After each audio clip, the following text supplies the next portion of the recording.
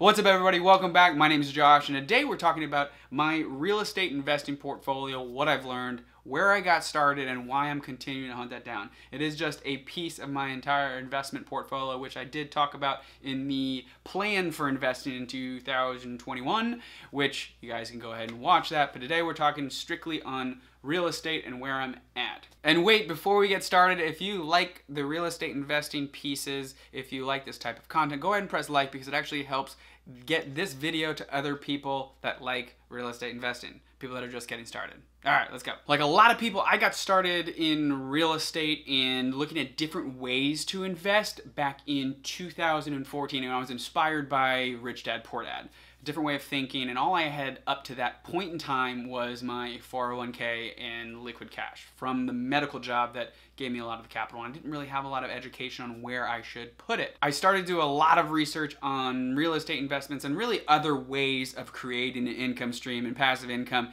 And it was actually on a trip over to Europe as I needed a break from work. I don't know if anybody else has that same exact feeling that I ran into somebody that was really familiar with a resource called BiggerPockets, which I will post in the description below. It's essentially a real estate investing community. People that have started at nothing and built up real estate wealth. Anyways, the, the, the most exciting piece of that community is learning from other people who have done it and learning from other people that have done it that maybe started out with a nine to five and had to figure out a way and get creative with financing to get to that passive income source and create all this wealth. Started to do a lot of research on there as well. And finally, about a year, it was, of course, paralysis by analysis. About a year later, I finally purchased my first property from across the United States. Now, I'll talk a little more about some of the metrics that I was looking for in a property, but I think I do have to address in that start what I was really paralyzed by, other than the fact that I was going to have to spend the most amount of money on a property I ever did, which is a caveat there if you do it the right way. For me, I was still learning, so I did end up putting 20 25% down. That's a lot of money. So, uh, aside from that being the, the paralyzed piece for me, I was actually paralyzed by just finding the right property manager because I was across the United States, finding the right realtor, understanding how to evaluate these properties, and just making sure I had everything in place from again managing this stuff from across the United States. So there's a couple things that I was really uh, kind of tied to and kind of held me back from pulling the trigger at first and really jumping in there. So after talking about how I got started in it, normally people are like, well, why? Why real estate? Why real estate? Why buy and holds? Why are you doing this? There's a lot of questions that just uh, essentially revolve around the entire why idea. And, and for me, it, it boils down to a couple things. One of which is I, I strongly believe money buys free time. And real estate investing, multifamily investing, which I take part in, I feel is one of those sources of income, income streams that you can generate with your own capital. And that's just been a focus of mine because if you have other income streams creating income for you instead of your W 2, eventually those real estate your dividend stock portfolio, a side hustle, whatever that case may be, eventually can replace that. And now you're not trading your time for money anymore. Your money is actually kind of giving you that time back, right? Can you see the, the dynamic there? Which that's already out there. That's the financial independence, retire early movement. There's there's a lot of people that talk about.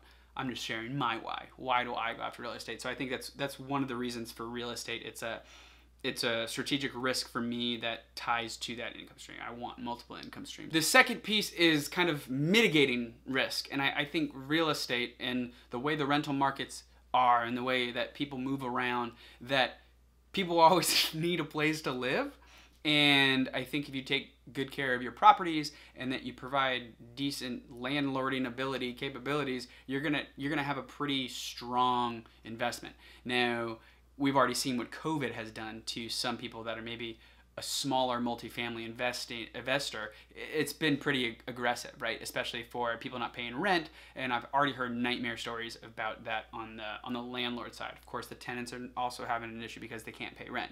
Either way, there's always those risks. But for for the majority of the time, I, I strongly believe that real estate, a home, place to live, is is a pretty strong need for a human being, and that that'll be around for quite a while. Whether that takes the place of multiple apartments or homes or people starting to buy up more homes, I think there's always going to be a place for rental properties. The last piece, my, the, my last motivator, the last why for me personally has to do with real estate as a tool to wealth accumulation. A lot of people, I think, see real estate as a higher income class. The people who already have the money are investing in real estate, which is definitely true. And uh, obviously, there's a blueprint there. If you have money, it's probably a good idea to put some into real estate and still leverage yourself in a way, which I'm sure that's another argument. I'm sure people will disagree there, where you could just buy out cash, but there's numbers there where leveraging yourself probably makes a lot of sense. Anyways, that's not the point. The point is, is that real estate investing is accessible to people that are in a nine to five, people that are making forty to fifty thousand dollars. It's going to be more challenging. It's not going to be the easiest way to do it, but that is one of those vehicles that the way that they have loans set up FHA loans, conventional loans with a low amount down, and mortgage insurance. There's a lot of ways to get into properties, and if you run your numbers right, you can get in, have it grow for a year or two, refinance out, get into another property, waterfall, and you start building wealth through real estate. So the cool piece is that this is not just something that you have a lot of money in and you can get into real estate. Uh, I want to be able to really the why here is teach people that it is accessible and expand on the community like BiggerPockets that you can take capital that you already have and let real estate do some of that work for you if you run your numbers right over time you're you'll start to build wealth and you'll start to build this passive income stream whether or not you're making $100,000 a year or you're making $40,000 a year. All right, so here's the good stuff. This is where we're getting started on the actual numbers, the, the revenue, where I want to be at the end of this year. I'll just kind of start at the beginning where I started, and it was in 2015 with a single family home, and then ended up being a triplex about two months later. So I ended up getting two properties within uh, about two months, three months of each other in the same year and that ended up being about four doors if we did that correctly. Triplex is three doors, and then of course the single family one door, and ended up raising rents for all of them. Didn't have to really remodel the triplex too much just because the the market's rents were so low. The single family was in a good spot by a college. So I got to rent by the room essentially, but it still was just one door. Uh, ended up uh, appreciating pretty nicely and it ended up doing uh, especially for the triplex ended up doing a cash out refinance on the triplex because it just it ended up appreciating so quickly about three years later got into a duplex where i moved into the, the top unit and rented out the bottom unit remodeled a little bit and then eventually sold the single family home and wanted to actually spend some of that money and didn't do a 1031 which I'm sure people will also say there's there's an issue there, but that basically just uh, defers your taxes on that home sale, but it just didn't make sense in terms of making sure I was getting it done in 90 days or whatever the timeline essentially was. So I ended up selling the single family home to get into a property, and of course, COVID hit. So I'm, I'm now currently, if we're following the math here, which is probably challenging, still have that triplex, so three doors, ended up getting duplex, so ended up adding one door there, but uh, under one mortgage, you've got two income streams. The plan is essentially to get another two to three doors this year, so either a duplex or a triplex is what I'm to get to. So hopefully either seven to eight doors. And then I'm gonna go ahead and give you a breakdown on the numbers of where I'm at right now. So mortgages right now are $4,500 a month, and that means I'm making about $902 uh, gross profit monthly right now. So that's about $225 a door. Uh, it's not counting the door that I'm in. I normally shoot for 300 to $400 a door. Again, I will be at that number with my current door that I'm living in. So what that means for the year is that's $10,824 gross profit and gross revenue is about $65,000 for the year. So 5425 a month. Now what's really interesting here is if I actually count the door that I'm in, so I move out of it, which is where I run the numbers normally, that I will actually be at six thousand seven hundred twenty-five dollars, so about eighty thousand dollars in gross profit a year. My debt coverage ratio right now is in between one point two five and one point five. You normally want to be above that one percent. That's the, of course, the one percent rule.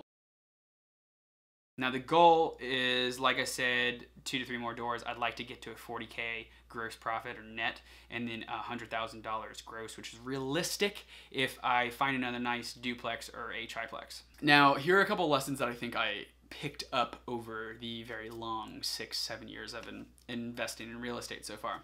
One of which is being really conservative with your numbers. This is actually a pro forma sheet I've received before and I keep it on file because I still use it. It covers a lot of the normal stuff that you would want to pay attention to taxes, insurance, maintenance, management, utility, anything like that. Actually, there's there's an acronym for that. It's called TIMMUR, T I M M U R. And that by the way, that R is actually repairs too. Anyways, the pro forma sheet that you're looking at right now covers a lot of that. You add all that stuff in, you can kind of see if you're going to find a decent cap rate when you're looking at the property, if you're looking at a, a certain amount of return on investment your first year, and then just overall cash flow too. So it's really been helpful for me, and what I've always tried to do is keep it really, really conservative. Think the other big piece for me was, and it, it was very apparent after I got the single family home, was what are your goals? What are you trying to get accomplished? And I mean real estate specifically. There's so many ways to kind of peel back the real estate onion, the, the, different layers that they have, and different ways to make this work for different people. I ended up going with uh, a very focused strategy on multifamily because it mitigates risk. You have one mortgage for more than one income stream.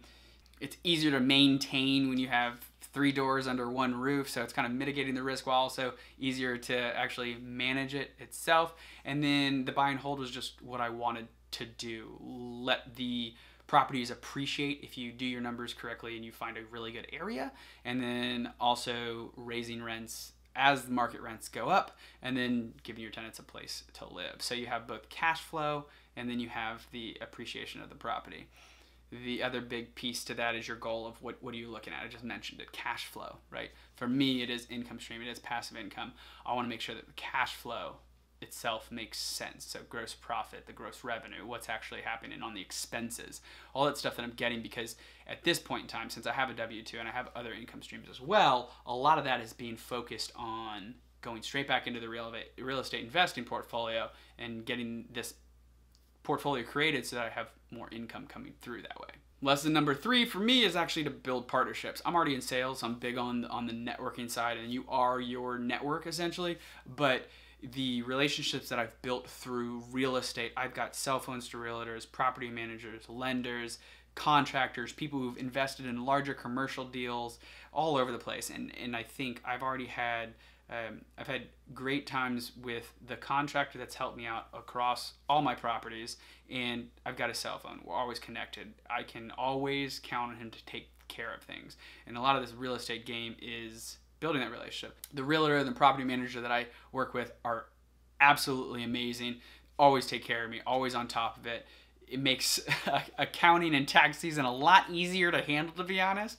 There are always deals being brought to table and then the pro forma that i showed are is normally being created by the realtor as well. So it's it's almost using my numbers and their numbers together and and making sure that everything makes sense. I have somebody else taking a good look at these properties. So last one is the house hacking. This is talked about all over the place especially on BiggerPockets but essentially putting a low amount of money down on a property to get into a multifamily property, renting out one side, essentially having your mortgage paid for, and then letting the property appreciate, and then you can actually refinance, get out, and do it again, and continue to do that. So it kind of waterfalls. And I didn't do that at first because I was across the country. I couldn't live in any of the properties, so that wasn't going to be able to happen.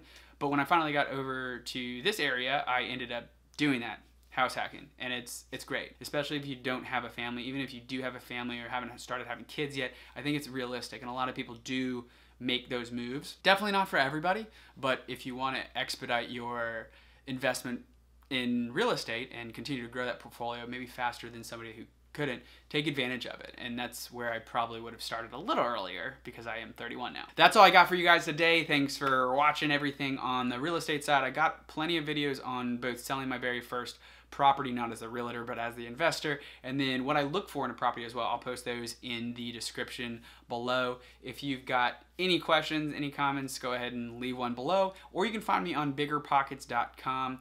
Also in the description below, great community, what helped me learn a lot about getting started in real estate.